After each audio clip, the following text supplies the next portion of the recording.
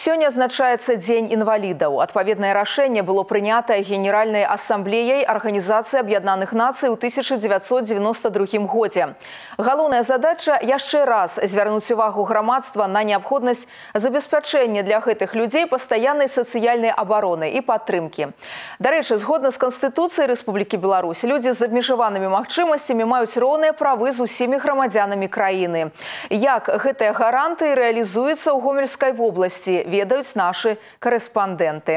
Аддзяленне дзённага знаходжання цэнтра сацыяльнага абслугоўвання насельніцтва цэнтральнага раёна сёння, як і звычайна адкрылася а палове 9 гадзіны раніцы. Сярод яго пастаянных наведвальнікаў каля 30 маладых інвалідаў. Нягледзячы на яго тэрытарыяльнае знаходжанне тут гатовыя прыняць гасцей з любога раёна горада. Працаваць тут зусім непроста. Галоўнае патрабаванне да работнікаў аддзялення магчымасць суперажываць. За праводзімымі на працягу 8 гадзін мерапрыемствамі рэальная дапамога тым, хто апынуўся ў няпростай жыццёвай сітуацыі. У нас постоянно ведутся проводятся различные мероприятия с целью реабилитации молодых инвалидов.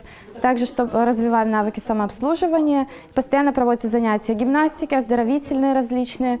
Центр сацыяльнага абслугоўвання насельніцтва цэнтральнага раёна установа запатрабаваная. У мінулым месяцы тут стварылі яшчэ одно працоўнае месца спецыяльна для інваліда калясачніка Александра Тимофеева. Яго задача сустракаць наведвальнікаў, якія прыходзяць у цэнтр упершыню, выслухаць іх просьбы і накіраваць да канкрэтных спецыялістаў. Апрача таго Александр прымае званкі ад адзінокіх і інвалідаў аб дастаўцы на дом прадуктаў харчавання, лекаў і прадметаў першай неабходнасці. Кажа, што работа спадабаецца, тым больш што пэўны вопыт атрымаў падчас працоўнай рэабілітацыі ў абласным шпіталі інвалідаў. Нягледзячы на абмежаваныя фізічныя магчымасці, Александр Тимофею таксама актыўна займаецца спортам і нават плануе выйсці на міжнародны ўзровень. У меня легкая атлетика, толкание ядра, метание диска. Э, на данный момент я призер э, Республики Беларусь, чемпионата Республики Беларусь. Даже ну, уже трижды призер. Первые места трижды уже занимали. Сейчас у нас стоит э, такая планка, чтобы выехать за рубеж на какие-то международные игры. Э, во-первых, получить квалификацию. Во-вторых, занять там какое-то место. Желательно с первого по, по третье, э, чтобы пробиться на Паралимпийские игры.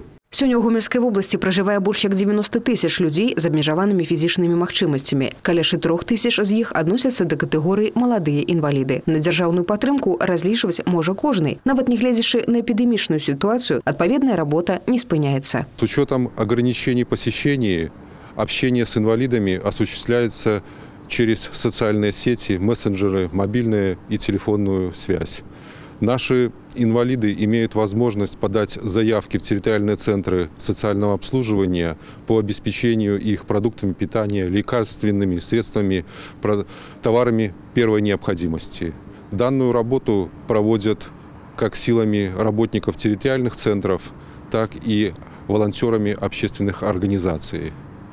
Хотелось бы сказать, что все мы люди, и если каждый хоть однажды протянет руку инвалиду, то в жизни проблемных у них станет чуть-чуть меньше, а жизнь их будет гораздо лучше. Олег Сенсюров, Ольга Коновалова, Евген Макенко, телерадиокомпания «Гомель».